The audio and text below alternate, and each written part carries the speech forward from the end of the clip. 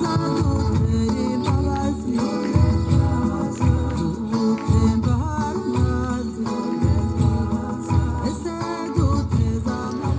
is my great honor and pleasure to welcome you to the Uganda stand to celebrate this year's World Travel Market East African joint event. The tourism sector is a sleeping giant in many of the East African countries, and we are working very hard to change that.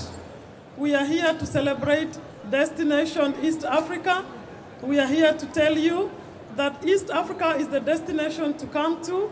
If you would like to see anything you want to see in this world, you'll be able to find it in East Africa. The promotion of the East African community as a single tourism destination is an ongoing task, and innovative strategy that always sought to achieve these objectives. To our high commissioners, they have helped us to organize this day.